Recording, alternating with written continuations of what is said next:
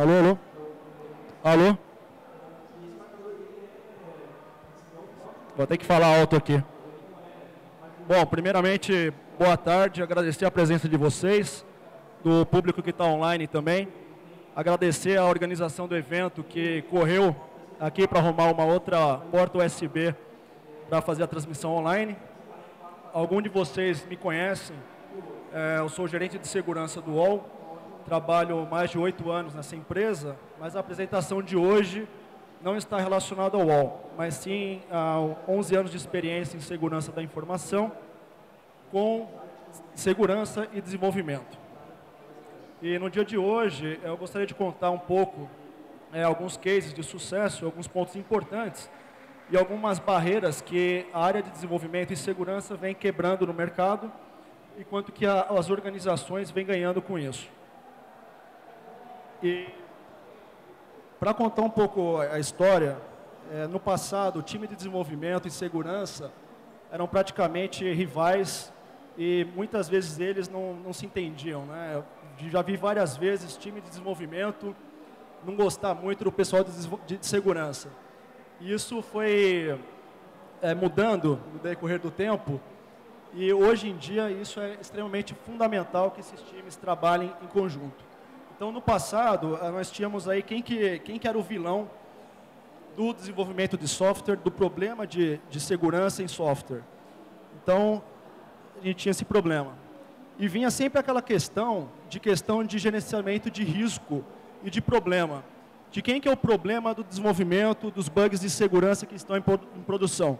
O time de segurança é, identificavam um, um, uma vulnerabilidade em produção, seja por identificação interna, seja por terceiros, e virava e olhava, não, esse problema não é meu, esse problema é do time de segurança, de time de desenvolvimento, perdão. E o time de desenvolvimento olhava e dizia, não, esse problema também não é meu, porque o, o pessoal de segurança não passou os requisitos de forma adequada para o desenvolvimento e arquitetura do sistema. E ficava essa bola de um lado para o outro. E, e, em cima disso, a parte de segurança, ela sempre foi colocada no meio do, do circuito de desenvolvimento como um, um custo para o desenvolvimento de projeto. E isso, praticamente, é, virava a questão de quanto mais requisitos se coloca, seja eles de segurança ou não, a gente não consegue atender o tempo de demanda de desenvolvimento de projeto. Então, ficava aquela questão, segurança, efetivamente, será que ela agrega risco ou será que ela, risco, perdão, será que ela agrega é, redução e custo né, para o desenvolvimento de um projeto? E aí vem a questão de quanto mais requisitos se colocam, mais tempo para se desenvolver. O desenvolvedor, de, o analista de segurança, muitas vezes chegava com aquela camalhaço de requisitos que muitas vezes ele também não entendia e não estava alinhado com o negócio e passava para o time de desenvolvimento. O desenvolvedor olhava aqueles requisitos e praticamente muitas vezes também não entendia o que, que significava aqueles requisitos para o desenvolvimento do sistema. E aí ficava aquela questão, oh, vou incluir esses requisitos, vai atrasar o tempo do projeto. O gerente de projeto, ele olhava para aquela camalhaço de requisitos e falava, não vou conseguir entregar o projeto em, em tempo. E uma questão muito importante para desenvolvimento de software é a questão do time to market. Quanto tempo que a gente vai soltar um produto, um sistema no mercado que seja frente ao nosso concorrente, por exemplo. Gente precisa aumentar a barganha, o market share de mercado. E o time to market tem que estar alinhado junto com o projeto e a área de segurança tem que estar ciente disso. A área de segurança é importante que ela esteja alinhada ao negócio. E muitas vezes dela alinhada ao desenvolvimento de software. E aí vem a grande pergunta. Como que o time de segurança vai trabalhar em conjunto com o time de desenvolvimento? Como que esses dois times vão trabalhar de forma unificada, com o mesmo objetivo de negócio, de forma unificada, de forma concisa né, e harmônica. E o, e o, grande ponto inicial de você conseguir é, separar e você atribuir uma, uma, um trabalho adequado para esses dois times, junto com a gestão do projeto, é você classificar primeiro de quem que é o risco. É, o risco será que é do time de desenvolvimento que escreveu o código errado, ou será que o risco é do analista de segurança que não passou adequadamente os requisitos de segurança para um projeto? Ou será que o risco é do gerente de projeto que não conseguiu atrelar o cronograma e o investimento necessário para um projeto sair conforme as melhores práticas de mercado. Na verdade, o risco é do negócio. A empresa tem que fazer essa gestão do risco e o gerente de projeto tem que gerenciar o risco de segurança do projeto como parte integrante do projeto. Esse é o ponto. Então, o risco do, do projeto em si é de ambos, de segurança e de desenvolvimento. E para consolidar e para começar esse trabalho, que é uma tendência é, internacional até por novas linhas de certificação, inclusive de segurança e desenvolvimento, é muito importante que o time de segurança esteja alinhado e falado de forma é, é, harmônica e na mesma linguagem que o time de desenvolvimento.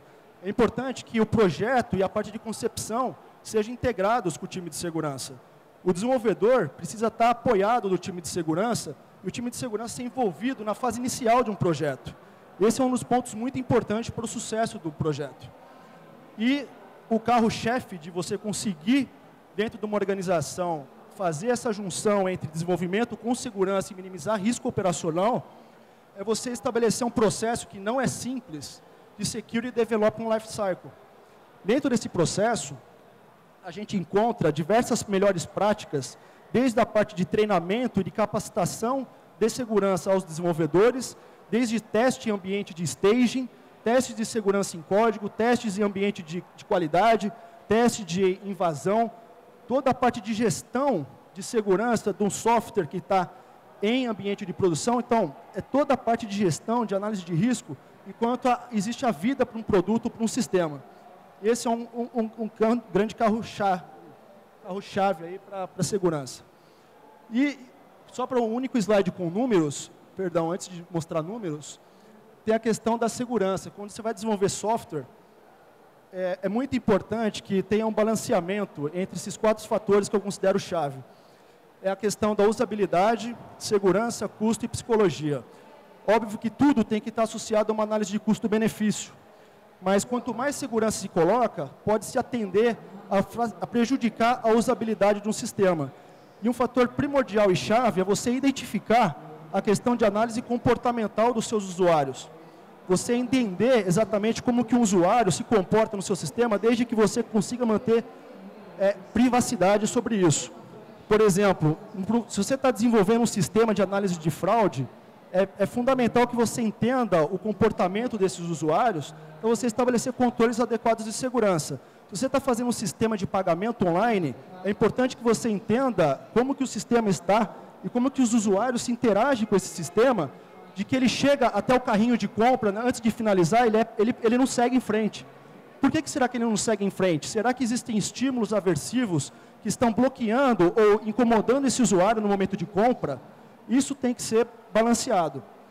E o que, que a gente tem em cima disso? todo o trabalho de desenvolvimento e segurança, ele será mais econômico, considerando esse processo de integração do time de desenvolvimento e segurança. Nós não teremos, então, uma harmonia e trabalho conciso entre os times de desenvolvimento e segurança. Hoje em dia, é, é até engraçado, recentemente um desenvolvedor chegou para mim e falou assim, olha, será que a gente está muito paranoico? Isso é fantástico, escutar de um desenvolvedor que, que escreve código para a nossa companhia. Então, desde tudo isso, a gente começa a agregar na parte de gestão de projeto e de processos, a gente consegue alinhar cronogramas e definir recursos alocados para o nosso desenvolvimento e para nosso time de segurança, porque não conseguimos ter um desenvolvedor, um analista de segurança para todos os projetos dentro da companhia. E aí, a gente precisa ter uma otimização dos recursos, uma otimização dos processos para trabalhar. E quando a gente consegue desenvolver software com segurança, a gente agrega para o valor da marca, a segurança. Os usuários dos nossos sistemas olham para a nossa companhia e vê a imagem da segurança em cima dela. Esse é um fator muito importante. E a questão da gestão do risco, que você consegue investir de forma adequada, seja em controles de segurança, seja em desenvolvimento, para garantir o menor risco operacional para o seu negócio. E aqui é o, o único slide com números. Isso aqui mostra um, o resultado da Microsoft após ela implementar um processo de Security Develop Lifecycle, que é uma redução de 91% dos bugs críticos de segurança após estabelecer um processo de capacitação do seu time de desenvolvimento, arquitetura e segurança com as melhores práticas de desenvolvimento. E, então, é, isso simplesmente é uma introdução para colocar que é fundamental, e isso é uma tendência internacional e algumas empresas hoje no Brasil e os times de desenvolvimento começam a se atentar a isso, de ter, é importante ter essa cultura de segurança da informação e ter o, o, o, time de segurança da informação junto com o time de desenvolvimento, arquitetura, trabalhando de forma integrada com os mesmos objetivos de negócio. E aí a gente entra na questão da cloud computing. Para desenvolver cloud computing, precisamos aí de ter toda essa questão importantíssima de, se, de segurança e desenvolvimento. E aí a pergunta, por que, que a cloud é hype? É, por que, que cloud computing é sexy? Muito disso está associado à questão também de sustentabilidade ambiental, uma questão de redução né, de energia, economia de recursos que a gente opera para manter o TI operando. E aí entra a questão de Pace as you need. Né, um amigo meu, Eduardo Maldonado, que é o é, diretor de pesquisa e desenvolvimento do UOL, mudou essa frase, porque ela é conhecida no mercado como PES, é Pay as you go, né? mas a gente coloca como, concordo com ele, que é PES as you need. Porque você paga conforme você quer, conforme você deseja utilizar o sistema de cloud e plataformas de serviço de forma a organizar melhor os recursos dentro da sua companhia ou se você vem contratar um serviço externo de cloud computing. E a crise, o que acontece? Se vocês observarem no, no mercado, o, o, o, o mercado de maior crescimento é o, ser, é o serviço de hosting, por exemplo. É um sistema por quê? Porque as empresas, no momento de crise, começam a reavaliar o seu investimento em tecnologia, que às vezes não é o core business do negócio, e passam a utilizar serviço de hospedagem, que é alguma empresa que pode fornecer administração e operação de serviços, por exemplo, de CRM, para operar melhor e, e a empresa reduzir os custos em CAPEX, em OPEX, para gestão da sua, da, da sua empresa. E aí, dentro da cloud, nós vamos ter alguns tipos básicos de, de cloud, que é a parte de infraestrutura. Você pode contratar serviços de infraestrutura para hospedar né, e colocar seu ambiente operando ali dentro. Você pode contratar serviços virtualizados, por exemplo, é um caso. Tem a parte de questão de plataforma de serviços. A gente pode utilizar um serviço de, por exemplo, de criptografia, um sistema de, de pagamento online na qual o seu serviço da empresa conecta numa gestão de pagamento em plataforma que esteja na nuvem para processar transações de comércio eletrônico, por exemplo. E tem também a questão de segurança, e, e, perdão, tem a questão do software, né? o cliente poder utilizar simplesmente uma planilha, simplesmente um e-mail via o browser dele, um, um, um editor de texto via a nuvem. Isso aí reduz o, o custo e às vezes acelera e dá velocidade ao negócio. E, e para isso, a gente pergunta, ok, eu estou indo para um novo negócio, quais são os riscos de cloud computing? O que, que eu tenho que fazer para desenvolver serviço de plataforma interno ou contratar serviços de cloud computing externo? Na verdade, é, se a gente for qualquer sistema e qualquer produto novo que a gente venha desenvolver, não importa qual que seja ele, ele tem riscos associados. E é importante que se desenvolva e avalie os riscos para qualquer tipo de sistema novo. Então, o pulo do gato é para qualquer sistema, seja cloud computing, seja um carro, seja um avião, fazer uma gestão de risco adequada. Então, fazer isso de forma direita. E aqui, é, a gente entra na questão estratégica de segurança e vamos entrar um pouco em conceitos de segurança e fatores primordiais de segurança para cloud computing. Quando a gente está falando em segurança como um serviço, A gente simplesmente está utilizando a cloud computing a nosso favor, em favor da segurança para a organização. É, um exemplo de usar estratégia é, com segurança, de segurança é o que? Na fase de desenvolvimento de um projeto, o gestor de projeto e o analista de segurança demandam uma série de requisitos de funcionais e controles de segurança para um projeto. Imagine que você tem uma empresa né, que tenha vários desenvolvedores trabalhando com projetos diferentes e vamos pegar um exemplo aqui de pagamento e transações de cartão de crédito. E tem que ter criptografia de cartão. Então, qual o seu nome, perdão? Renan? Por exemplo, o Renian tem um projeto A que precisa criptografar cartão de crédito. Eu tenho o projeto B e o Anquises ali tem um projeto C que precisa criptografar cartão de crédito. Quando a gente começa a identificar de forma estratégica esses requisitos, a gente pega e olha de forma holística e verifica que a gente tem uma série de requisitos que podem ser condensados num único serviço, por exemplo, num serviço de criptografia, que a gente vai reduzir e vai criar uma plataforma de criptografia centralizada e entregar para que esses clientes utilizem uma aplicação de criptografia que na qual foi preparada para fazer gestão de chaves, controle de algoritmos de criptografia e ter processamento distribuído, para que reduza o custo de desenvolvimento para as áreas clientes e que a área de segurança não tenha que ficar eh, intermediando ou auditando, ou por, seja por compliance, por exemplo, todas as três aplicações que muitas vezes dela vai criar ambientes heterogêneos. É importante que a gente consiga utilizar a segurança de forma estratégica para isso. E a gente pode utilizar a cloud nesse favor. E uma coisa, uma questão muito importante, e eu gostaria de, de frisar aqui, é a questão de política de segurança e política de privacidade. Qualquer sistema em cloud computing, seja você desenvolvendo interno, plataformas de serviço, seja você contratando um serviço de cloud computing externo, é importante que ela esteja aderente às suas políticas de segurança da companhia ou seu software também. E uma questão muito importante, friso, é que privacidade, no meu ponto de vista, é uma questão de responsabilidade social. É muito importante que as empresas que cuidam com informação dos seus usuários, e tem milhões de usuários na rede, protejam a informação desses usuários de forma adequada e não coloquem em risco a privacidade desses usuários. Que elas provenham e, e, e forneçam políticas de privacidade aos seus usuários. E aí nós temos a questão de, de identidade, né, quando a gente está falando em cloud. Quem aqui, é, se você trabalha com vários sistemas, e todo mundo aqui deve ter sistemas de e-mail, de vários sistemas de e-mail, sites, blogs e, e 500 mil aplicações, usuários e senha, MSN e assim vai. Como, quanto difícil é você, quão difícil é você conseguir gerenciar essa identidade para todos os produtos? Dentro de uma organização que tem ambientes heterogêneos e uma base não centralizada de identificação, é um parto. Por exemplo, o Anquises, é, ele trabalha conosco na nossa empresa, vamos imaginar, uma empresa fictícia, e ele saiu da companhia.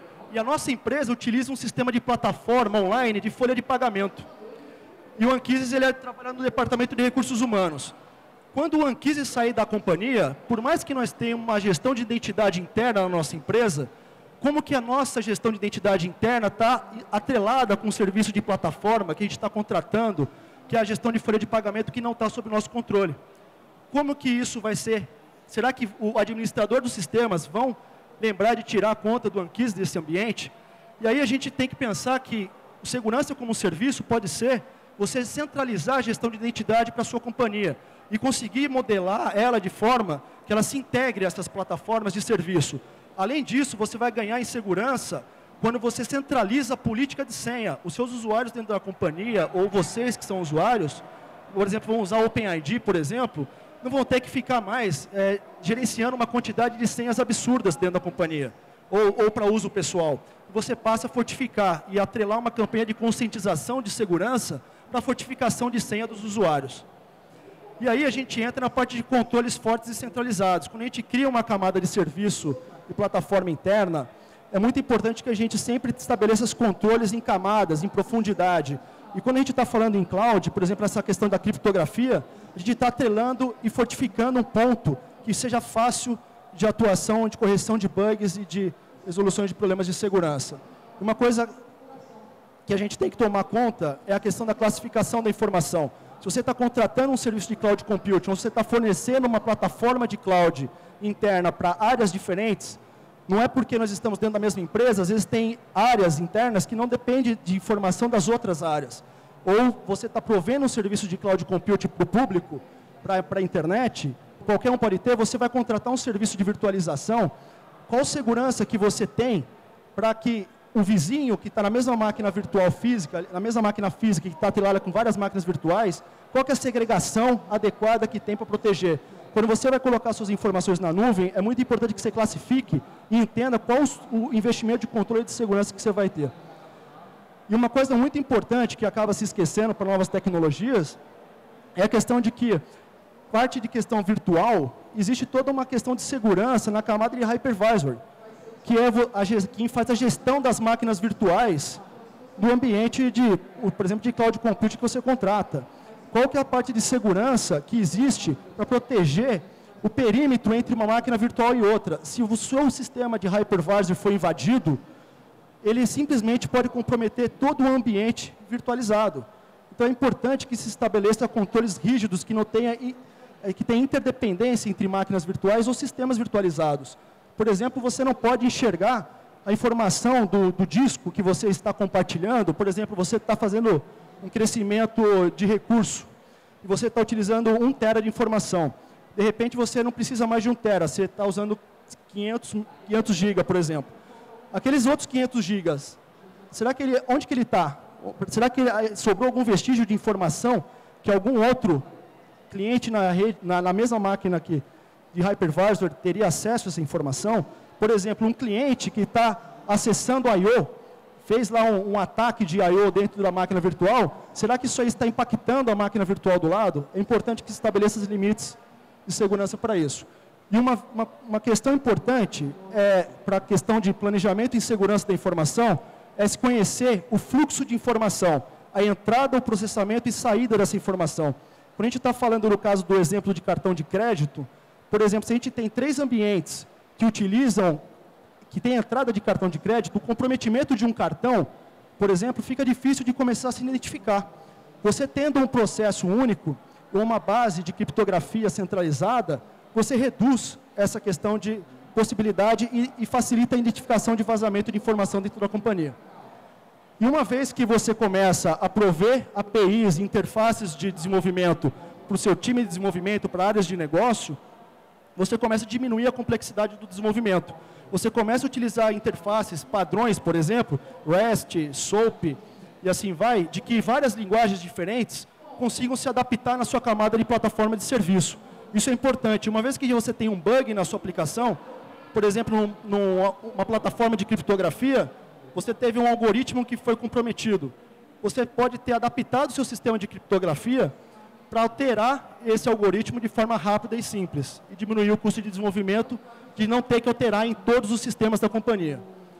E aí, na parte de desenvolvimento de software e compilação de software, por exemplo, você pode prover uma interface e uma plataforma de serviço de integração contínua, por exemplo, utilizar o contínuo, utilizar o Maven, você pode utilizar o, o serviço de, de, de virtual para trazer mais recurso computacional para você melhorar os testes nos seus pacotes. Você fazer os testes e, e a compilação contínua do ambiente. E aí, falando de testes de segurança, é, tem duas questões bacanas aqui. É a questão de você poder contratar serviços na rede, né, serviços na cloud de testes de segurança, e você também tem uma questão que, que é um grande desafio para quem faz teste de segurança em ambiente. Vamos imaginar que nós temos um ambiente em produção e, e tem clientes que acessam o tempo todo 24 por 7. Você vai demandar um teste de invasão, um teste, um teste de ataque, por exemplo, nesse ambiente, é muito difícil e é um dos grandes desafios para desenvolvimento e teste de qualidade, manter um ambiente de staging, de qualidade de produção, que sejam idênticos. Isso é muito difícil.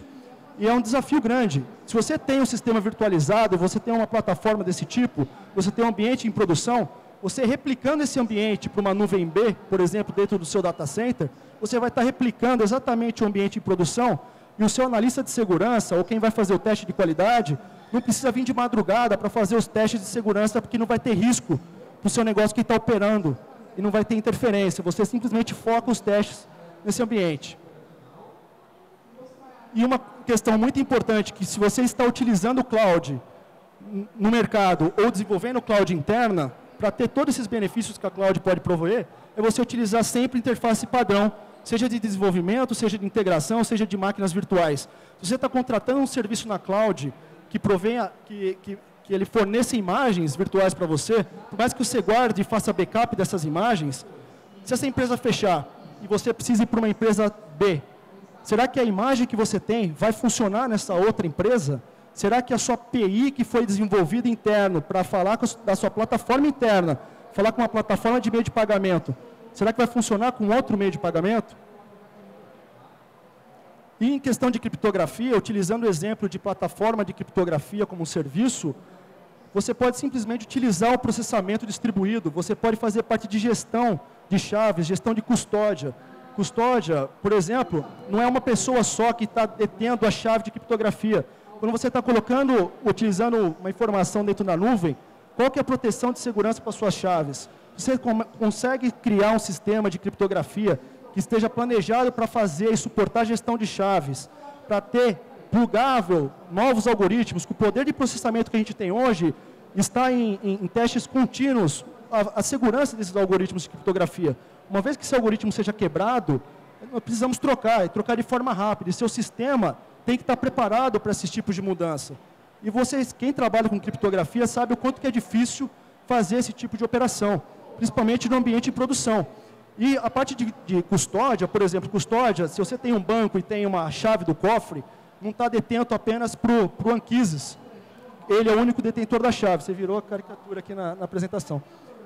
O que, significa? Significa que nós temos uma chave distribuída em três pessoas e precisamos de três pessoas para vir poder abrir a chave do cofre. A gente evita colisão com isso, a gente tem separação de funções e pessoas que sejam isentas. A gente garante a segurança do, do ambiente. E aí a cloud em si tem que ter uma questão racional, que é você utilizar os recursos de forma adequada. Você pode utilizar todos os discos ociosos que você tem da, da organização, ou o que você precisa para operar o seu negócio de forma adequada e você pagar quanto você quiser. E aí você também pode guardar seus dados na cloud.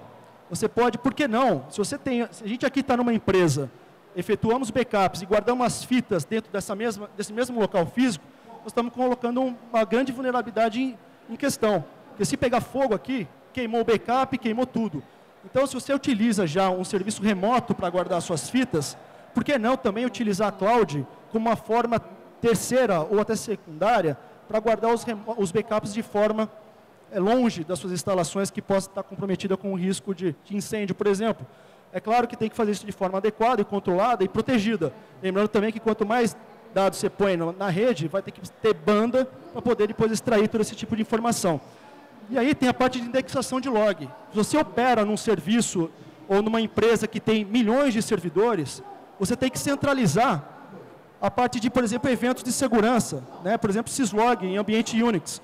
Você tem que registrar com que todos os eventos de segurança estejam centralizados. Mas quando a gente trabalha em soluções e aplicações que tem a parte de identificação e autenticação de usuários online, se a gente tem umas 10 aplicações, como que a gente vai conseguir centralizar? Se você prover uma plataforma de indexação e prover uma plataforma que todas as suas aplicações remetam esses logs para um local central, você está otimizando o recurso e você está criando agilidade e trazendo segurança para a organização.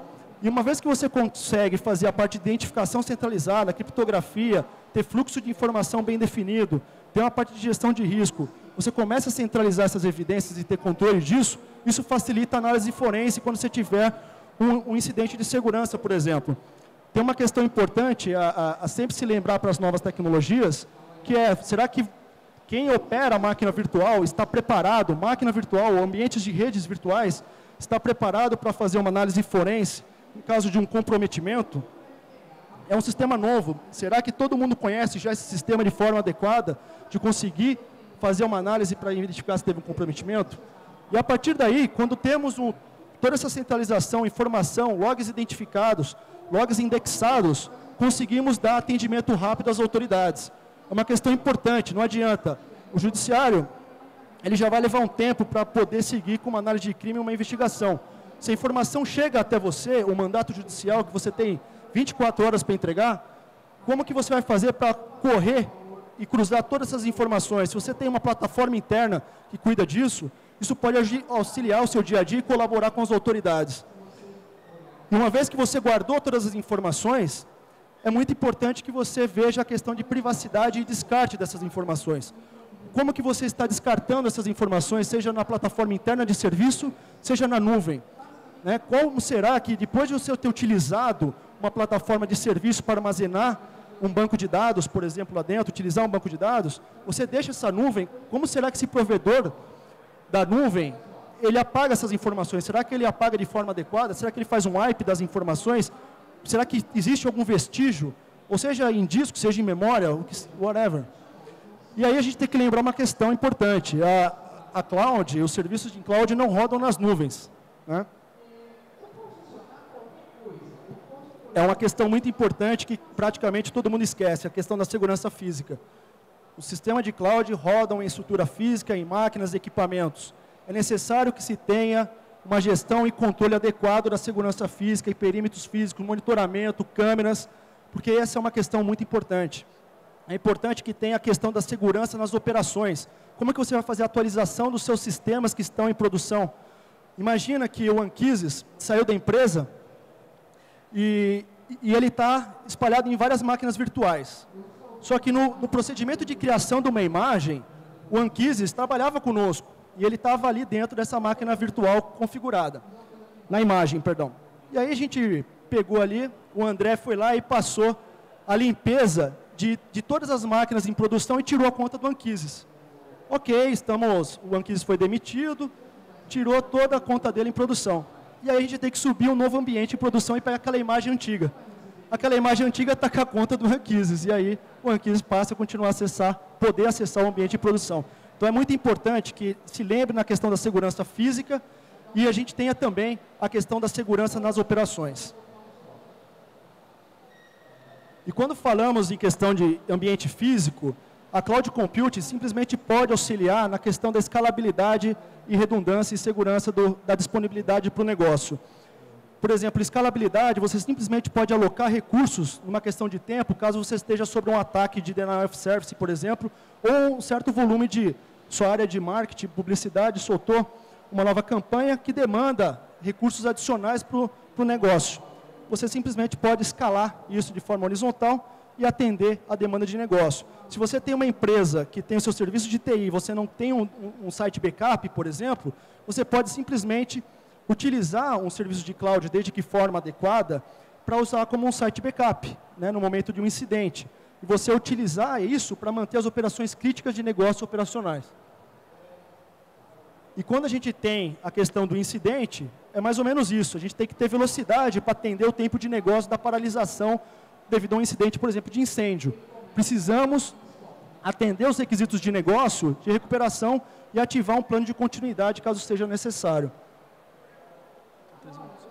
E aí entra a questão da, da aderência. Né? Quanto mais simples o software venha a ser desenvolvido, ou um serviço de cloud, um serviço interno, ou serviço externo, é muito importante que ele esteja aderente às melhores práticas de mercado. Ter é, é, esse selo de certificação, muitas vezes, vai auxiliar investidores ou empresas que têm ações na Bolsa de Nova York, por exemplo, contratar o seu, seu serviço porque você está aderente a essas normas. É, é, é, requisito dessas normas de que se você contratar um serviço de tecnologia para operar suas, suas instalações físicas de TI, que ela seja compliance também. Então é muito importante que seu sistema e seu software seja desenvolvido com as melhores práticas. Eu defendo uma questão de que ter simplesmente o selo de certificação é uma coisa bonita, é uma coisa que pode ser utilizada para marketing, marketing e valorização da marca, mas é uma questão muito importante que se você não precisa da certificação, não, não importa, utilize elas, porque ela agrega valor para o dia a dia. As certificações estão lá de acordo com as melhores práticas de mercado. Isso agrega valor ao negócio. E você utilizar as normas a seu favor, eu vejo que o maior ganho é você conseguir otimização e melhoria dos recursos internos dentro da companhia. E aí, como até casamento tem contrato, você tem que estabelecer contrato, seja no software livre, seja em qualquer tipo de software que a gente venha desenvolver, ou qualquer solução de cloud computing que a gente venha utilizar. É muito importante que não somente nos serviços de cloud que se venha contratar externo, mas também aos serviços de cloud de plataforma que a gente vai prover para as unidades de negócio interno, que a gente tenha um SLA, um acordo de nível de serviço. E que para isso a gente consiga auditar dentro do possível, saber se esse SLA está sendo cumprido de forma adequada. Se a gente tem acordos de confidencialidade ali dentro, não adianta só ter acordo, tem que ter garantia de controle. E, quando possível, a gente auditar. Então, é, o que eu considero de segurança em cloud computing e toda essa questão de mobilização do mercado para que a gente comece cada vez mais a desenvolver e usar esses benefícios de segurança da informação atrelado com o desenvolvimento de software, a gente só tem a ganhar com isso e cada vez mais o mercado está requisitando que seus time de desenvolvimento, os desenvolvedores sejam certificados, sejam treinados, tenham uma relação harmoniosa com o time de, de segurança, que o time de segurança seja envolvido na fase inicial, que vai mostrar todos esses benefícios que a gente, que a gente elencou. E quando a gente consegue tudo isso, a gente pode ter a nossa Cloud Compute 10 aí, e utilizar esses recursos. para a economia da, e principalmente sustentabilidade do planeta. Vou abrir para perguntas. E também fica meu contato se alguém tiver qualquer outra pergunta para enviar. Por favor.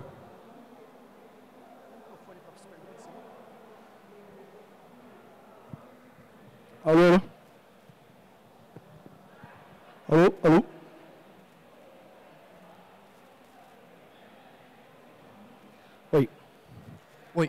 Meu nome é Roberto, eu trabalho no mercado de cartão de créditos, tá? E, assim, bom, primeiro, a questão do desenvolvimento, que você focou muito na área de desenvolvimento. E, na verdade, é, muitas vezes é, a questão não é só desenvolvimento, a estratégia, arquitetura, desenvolvimento também, enfim, são todas as áreas que têm que ser aderentes a uma política de segurança.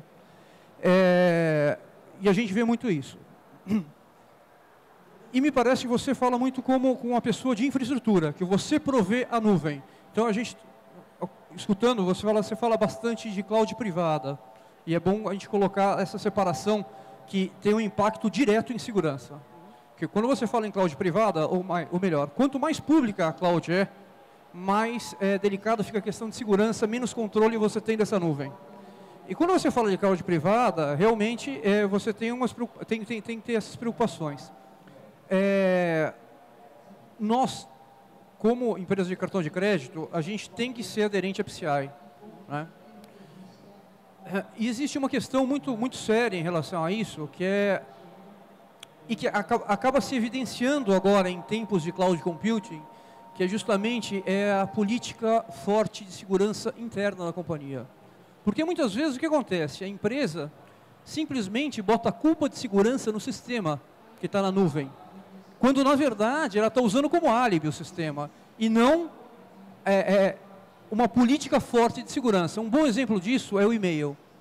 A gente fez vários estudos, a gente começou a entrar nesse, nesse mundo de cloud computing, é, fez um, um, uma POC com um e-mail corporativo. E a primeira coisa foi segurança, levantou a bandeira e falou, olha, ah, mas e se o cara colocar número de cartão de crédito no e-mail? Para quem não sabe, o PCI não, não deixa que se trafegue número de cartão de crédito para fora da, da, da, fronteira da companhia. Ah, mas se colocar número de cartão de crédito no e-mail? O e-mail vai ficar hospedado fora da companhia. E aí? Bom, aí vem a questão, porque as pessoas, no primeiro momento, falam, ah, é verdade, então... Para... Não, na verdade, isso aí é uma política de segurança forte que tem que ter na companhia. Número de cartão de crédito não pode estar no e-mail. Assim como não pode estar em uma série de mecanismos internos que a companhia usa hoje. Então, é, precisa ter uma política muito, muito forte interna sobre isso. Eu gostaria que você pudesse estender um pouquinho né, claro. em relação à, à, experiência que vocês têm em relação a isso. É, eu, eu, vou falar meu, na questão pessoal, visão pessoal de, de questão de segurança, tá? E questão relacionada às melhores práticas. É, você está corretíssimo quando você está falando a questão do PCI e questão de que você tem que ter uma política forte e um reconhecimento da companhia em quais são os critérios e requisitos de segurança que, que você vai seguir ao você entrar num novo negócio. Então, é muito importante que em fase de seleção, você estabeleça processos de gestão de risco atrelado junto com o board da companhia e você conseguir mapear isso de forma adequada e você mostrar ao negócio, porque é uma questão que, que tem que estar muito mais alinhada ao negócio. Né? Você, por mais que você tenha toda essa questão de infraestrutura, de falar da cloud privada, é, eu considero que segurança privada e pública, na, no meu ponto de vista, tem que ter os mesmos requisitos de segurança. E quanto mais seja público, tem que ser mais forte. Né? Não, e não o contrário também não é porque é interno tem que deixar de ter requisitos fundamentais de segurança, tem que ter requisitos fortes. A gente fala com, eu, eu vejo pessoas falando que, poxa, tem acesso interno, ah, mas eu só tenho acesso interno nisso aqui. Whatever, se alguém invade sua rede e está dentro desse perímetro isolado interno, ele pode comprometer todos os sistemas. Então é necessário que as políticas de segurança, primeiro, ela atenda a organização como um todo, desde a parte de segurança física, inclusive na contratação de serviços. Quando você está abrindo mão de você e você está colocando ou utilizando um serviço de cloud, é muito importante que você entenda de que negócio que você está entrando e esteja associado com uma gestão de risco adequada. E você estabeleça controles, por exemplo, controles compensatórios.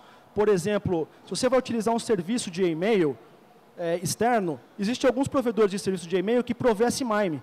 Você vai prover a criptografia e essa criptografia é executada no cliente, ou seja, dentro da sua companhia. A informação ela é armazenada na cloud de forma protegida, na qual o administrador dessa cloud não tem acesso.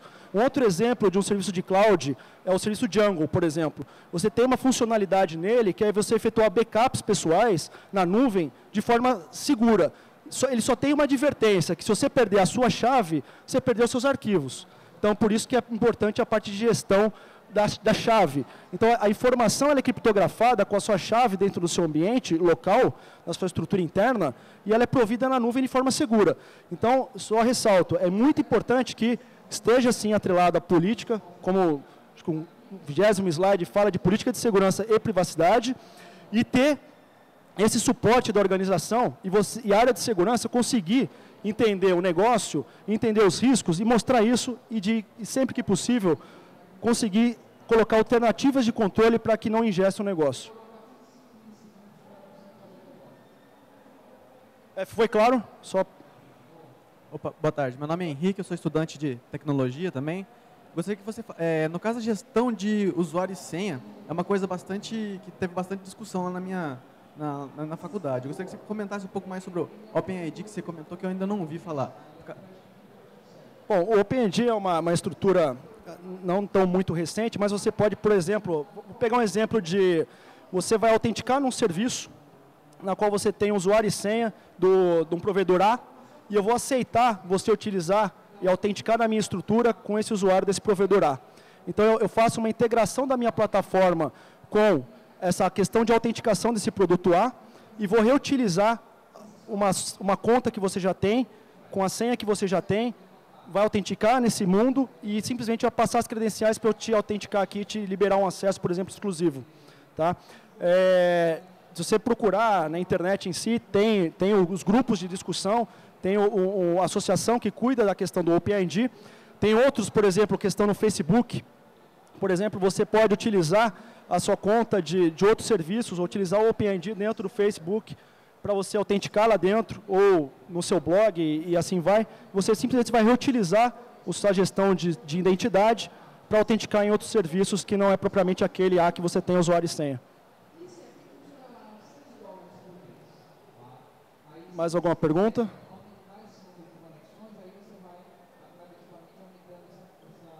Bom, é, fica à disposição meu contato, qualquer um que tiver sugestões, críticas, melhorias e puder colaborar também em divulgar essas questões de segurança da informação para desenvolvimento, é uma questão crítica e importante aí, principalmente para essa questão e esse batalhão de gente que tem aqui.